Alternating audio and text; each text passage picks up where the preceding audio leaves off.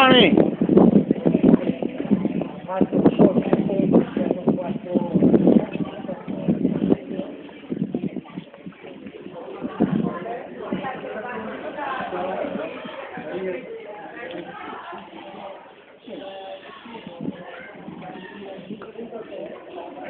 Detto alle 3 o 4 e poi vanno là